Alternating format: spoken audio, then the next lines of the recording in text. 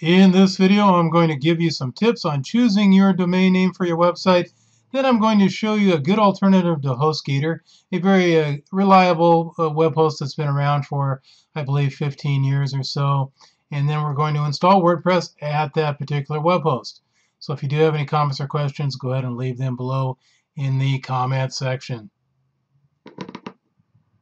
Choosing your domain name. I know this is WordPress 101, but here's a few tips on choosing your domain name. It's not rocket science, but you might find these helpful. You can use a branded domain name, which would be something like your business or personal name or local brand or that sort of thing. You can use what is called a keyword rich domain, or you can use, as the question marks kind of signify, pretty much anything, whatever else the heck you want that contains letters and or numbers. Not sure what the limitations are. I'm sure there are some somewhere.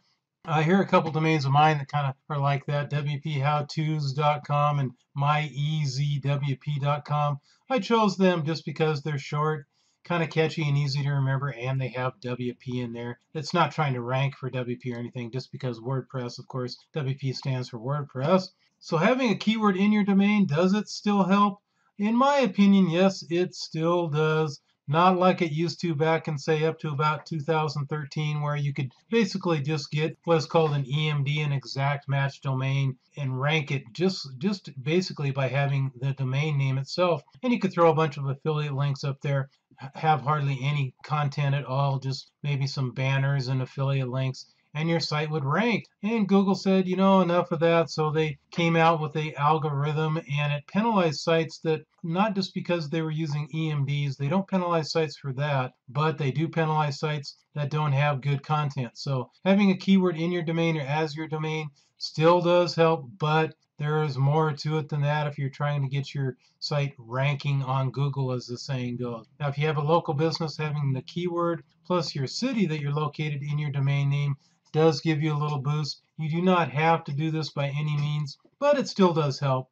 So for example, that would be something like attorneyinsandiego.com or sandiegolawyer.com, that sort of thing, although those domains are most likely gone. Now, if you have a keyword domain that you're really trying to get in a .com, which is always the best choice .com, you could try adding a modifier to the front or the back, like best, the, top, etc., etc. You know, kind of use your imagination uh, to find the domain of your choice. If you really are set on a particular domain name and you can't find it in the .com, you could get a .net. That's always my second choice.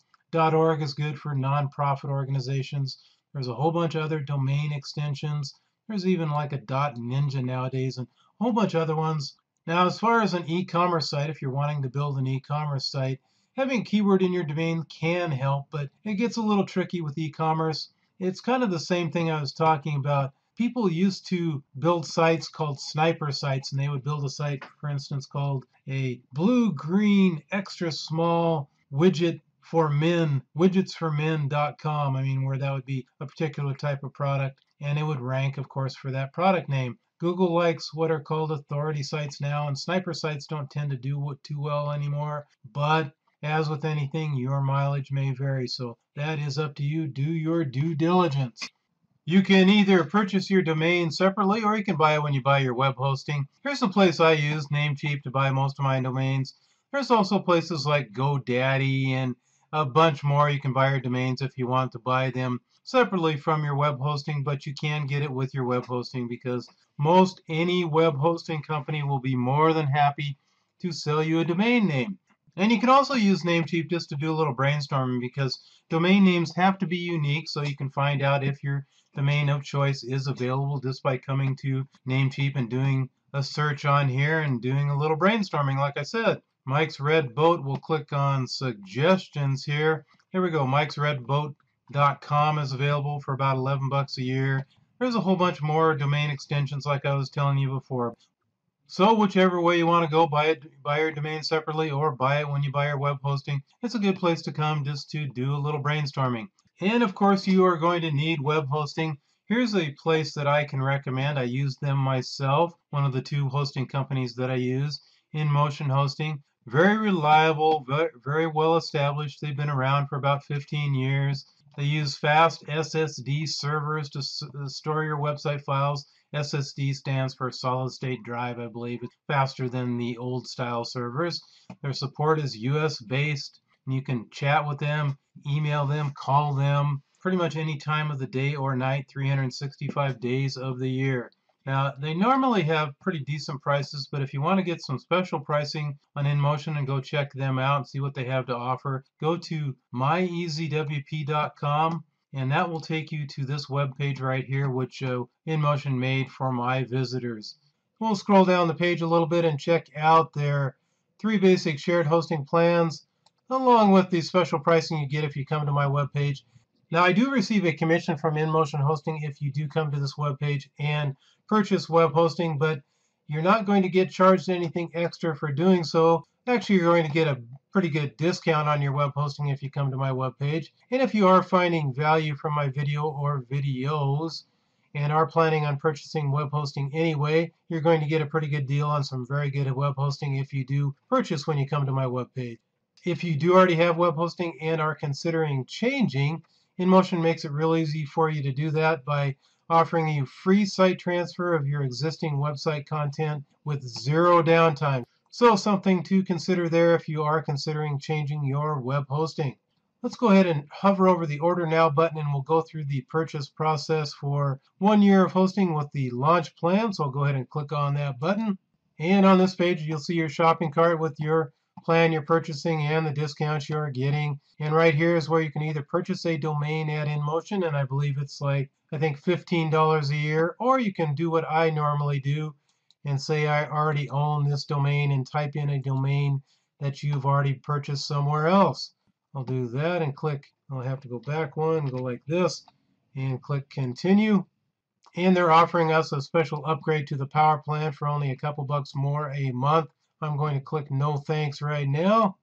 Here's where you choose where your servers are going to be located, either US East Coast or US West Coast. I'll choose the West Coast because that's where I am located. You can even have InMotion install WordPress for you, but we're going to say no thanks because we'll go through that uh, WordPress installation ourselves. Very easy process and it's something you probably want to know how to do yourself. So we're going to click continue. Here's where you can enter in your email. Make sure it's a good email, of course, because they will send you your, your account info to that email. I'm going to click continue one more time. And this last page, before you uh, go through the purchase process, is where you just enter in all your account and payment info. And after you do that, then you'll just click on review your order and go through the purchase process. And once you've gone through the purchase process, uh, InMotion is going to send you several emails. Here's one of them with all your account data on here. You have to actually set your own password for what they call your account management panel. So just click on this link right here and it took me to this login screen because I've clicked on these links before, but it might normally take you to a page that looks something like this where you set your password for your account management panel AMP. But either way, if it takes you to this screen right here, all you have to do is click this I don't remember my password and go through the process to reset your password. And once you get your password set, of course, you'll have to log into your account. I'll click this I'm not a robot button right here. Urge! Hey, I forgot to mention that if you did buy your domain and your web hosting separately, you will have to connect them together via what are called the name servers. And it's a very simple process. I do have a couple videos. I'm not going to cover it in this video, but I do have a couple videos you could watch for uh, if you bought your domain at Namecheap or at GoDaddy. And it's a pretty similar process no matter where you bought your domain. You can just look it up online too if you want to. Here are the two name servers for InMotion hosting. If you bought your hosting there, your shared hosting, you just use these two right there. If you bought your hosting, say at HostGator, they will send you an email which will include your two name servers you need to use. Very simple process, like I said, but if you don't want to do it yourself, you could even just get your name servers handy and then call up your domain registrar where you bought your domain and say, hey, I need to connect my name servers to my hosting my domain and my web hosting together via the name service. Could you do it for me? And I'm sure most places will be more than happy to help you out. And once you've logged in, it'll take you to your account management panel, your AMP screen. This will show you all your account data. If you scroll down just a little bit on the page, it'll show you your cPanel account, and that's what we want to install WordPress. So we are going to click on cPanel. You're logged in automatically and we're just going to scroll down the cPanel screen until we see software and services and we're going to click on Softaculous. Then we're just going to hover over the WordPress symbol and click on this install button right there. And this will show you which version of WordPress you are going to install. Generally, it's pretty up to date. This is the most current version of WordPress at the time of this video. Under software setup, you choose your protocol. You basically either want to choose the HTTP or with the www, unless you bought an SSL certificate, and then you'll want to choose one of these two options which have the HTTPS in them. We're just going to leave it as is. Choose your domain if you have more than one. Right here, if you want to install WordPress in a directory, most likely you will not want to do that, but I am going to because I don't want to install over my main WordPress installation right now, so I'm going to install it in a directory. But you'll most likely want to leave this area blank yourself. Your site name, which is going to be your site title, and your site description, that is your tagline. You can change these later, so I'm just going to leave them as is right now. The next section is your admin account section. You'll choose an admin username and an admin password. Just choose something for your admin username besides admin. So I'm just going to type something in here like this. For your admin password, I'm going to hide that so you don't see it, sorry. Just choose something that you can remember or at least go uh, write it down somewhere in a text file or Word document so that you can remember it because for security reasons, uh, uh, InMotion Softaculous is not going to send you this password in an email or show you anywhere else. So make sure you write this down somewhere because you are going to need it. All right, for your admin email, I'm going to change that to this right here. Choose your language, English, no doubt, unless you have a different language. And then, of course, you have some options here. We're going to skip the limited logins plugins right here. Advanced options we're not going to look at right now. Paste in an email right here so they can email our installation details, but that will not include the passwords. And then I'm just going to click install. All right, that took about 30 seconds or so. Here's our URL that we installed WordPress at. And here's our administrative URL, which is just our WP admin URL, which is just your domain name then a forward slash, and then wp-admin. I'm just going to go ahead and click on that, and that will take you straight to your WordPress dashboard. Now, normally you're just going to have to uh, put in your URL of your site, and then put a forward slash, and then wp-admin, and then log in with your admin username and password. Now, before we get started setting up our site, here is a blog post on my WPHow2s.com site that you may find helpful. It started out as just a way to list some WordPress plugins that I use and recommend, and we are going to go over WordPress plugins a little bit later in the video. But I've started adding more resources to it, so you may find it helpful. There's some sources for royalty-free images, and I even started a simple little checklist down here. This stuff is pretty basic we're going over, but you may find it helpful to have a little checklist when you're first getting started with WordPress. So check out the blog post.